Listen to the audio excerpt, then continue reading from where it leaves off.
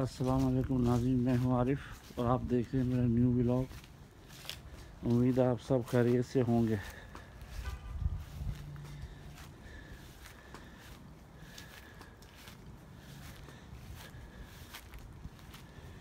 आज इस वक्त तकरीबन छः बजे वेंसडे का दिन है, लेकिन आज बारिश नहीं हुई, सारा दिन आसमान पे बादल ही रहे हैं। लेकिन फोरकास्ट थी कि आज बहुत बारिश होगी, लेकिन बारिश नहीं हुई। तो लेकिन मौसम जो है ना फ्लोरिडा का, ये चेंज हो गया एकदम। मतलब पहले होता था हंड्रेड हंड्रेड फोर अभी है कि एटी फाइव एटी इस तरह हो गया। ये देखो साथ वाला भी आ गया माई फ्रेंड वीगो भी आ गया। तो ये है कि,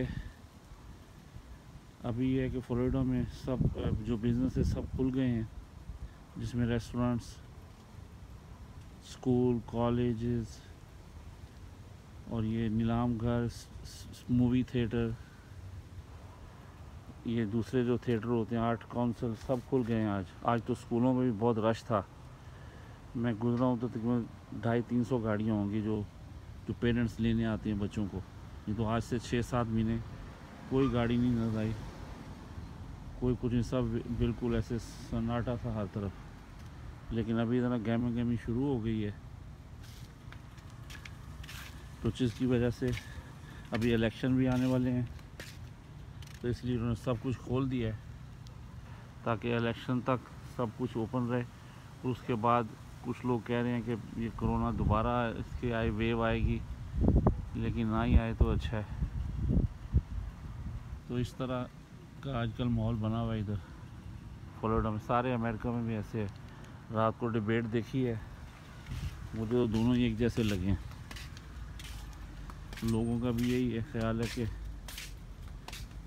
कुछ पता नहीं कौन आएगा, लेकिन ज़्यादातर जो है कह रहे हैं ट्रंप के चांस ज़्यादा हैं।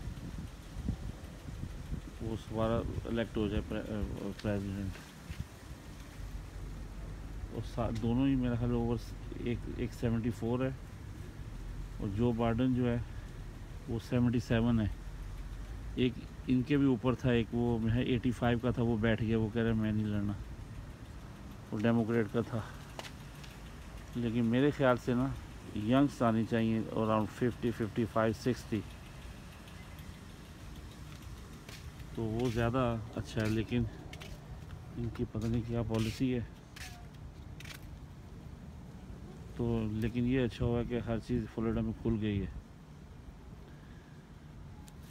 और लोग चाह भी रहे थे कि सब सब जो सब सब कुछ है जो ओपन हुए, ताकि हम अपना बिज़नेस भी कर सकें। रेस्टोरेंट थे, हज़ारों, लाखों रेस्टोरेंट थे फ्लोरिडा में, जो बंद पड़े हुए थे आउट ऑफ़ बिज़नेस लेकिन यहाँ की गवर्नमेंट ने उनको लोन दिया है। छोटे बिज़नेस को almost forty two fifty thousand बड़े को hundred two hundred up to million dollar तक लोन दिए लोगों को। ताकि जो नुकसान हुआ पूरा करें अपनी एम्प्लॉज़ को तनख्वाहें दें और कारोबार चलाएँ, ताकि इकॉनमी जो है ना, वो बैठे ना एकदम। अगर ये इकॉनमी बैठ गई तो फिर बहुत बुरा हाल होगा। लेकिन अभी लग रहा है कि इलेक्शन तक तो अभी बहुत गहमा गहमी होगी, फिर उसके बाद पता चलेगा कि क्या Hey, how are you, amigo? Everything good? Yes. तो उसके बाद ही पता चलेगा इलेक्शन के कि क्या होता है और ये है यहाँ का हालात हाजरा